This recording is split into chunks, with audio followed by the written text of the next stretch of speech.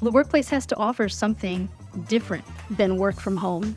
It's got to be Valley's own. It has to connect us with each other. So, really, the office has to be designed now as a destination place.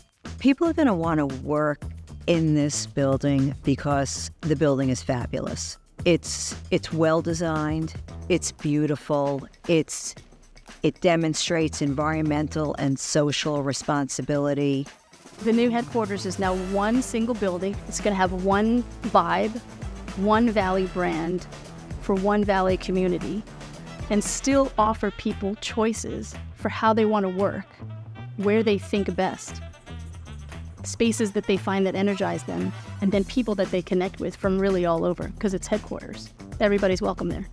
It was important to us to be in a place with a rich history and, and a diverse and growing community. Being in Morristown feels great because we feel welcomed by the officials, by the township, uh, by the mayor. So it's been a, just really a great integration, I would say, uh, with Valley business and in the, and the community of Morristown.